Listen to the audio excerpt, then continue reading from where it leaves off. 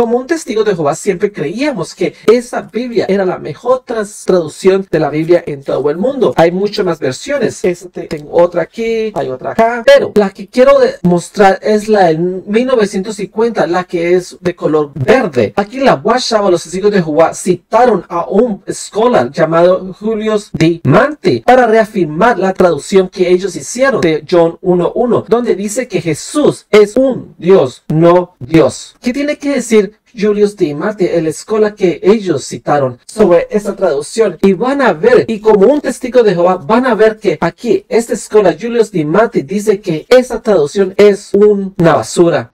Nunca he encontrado una traducción que se aleje tanto de las escrituras y de lo que enseña como estos libros publicados por estos testigos de Jehová.